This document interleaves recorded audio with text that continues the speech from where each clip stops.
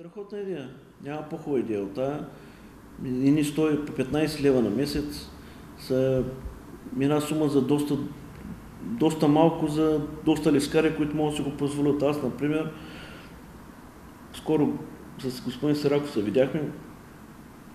Той е доста положително настроен към тази идея и аз съм много доста положителен. Ти би ли участвал? Аз не само ще участвам, аз даже на господин Сираков ще му гарантирам 200 човека, които ще накарам да участват. Това трябва да се направи. Аз като личност, която може да контролира и имам позиции, защото смея да твърда, че съм такъв, имам приятели левскари, ще дойда при теб и ще обида Васко да участваш. А не е много трудно. Няма да ето. Не, примерно ти казвам, ще обида еди с кой, моите четирите, четири четирино е моето семейство с двете ми деца, 4 по 60 лева на месец, по 15 лева ги имаме. И ще обида, ще намеря 200 човека.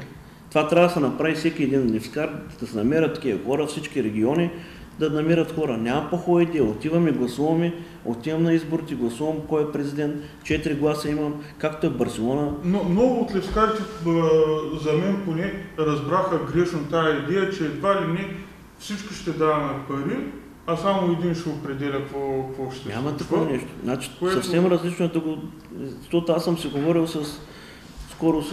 Ако 10 000 участват в това движение, 10 000 имат право на глас, Абсолютно. вече кой... Абсолютно. Значи скоро го, ми го обясниха на мен подробно, защото аз се заинтересувах от това нещо, ми ми харесва.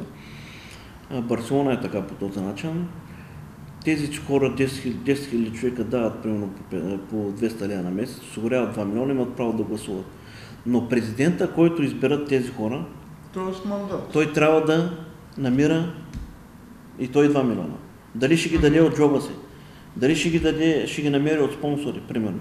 Но и той трябва да докара пари в Куба. Така е Барселона, доколкото знам. Така мислят, искат да го направят Левски. Страхотна идея. Мисля, че колкото по-бързо стане, по-добре ще. 15 лева на месец са нищо с, с 3,50 гориво. Добре, предстои дерби. Аз това ще питам, може би за финал. Предстои дерби. И дали ще бъде дерби всъщност? Ми, Все пак винаги- е финал, все пак е финал. Значи, прекалено всичко е много розово в Левски към днешна дата, което ме преценява най-много. Винаги е било така. Когато на един отбор е го смята за фаворит, другия побеждава. А, както казва и господин Стоилов, както ако гледате неговите интервюта, той е доста седнал на земята и знае, че има доста работа.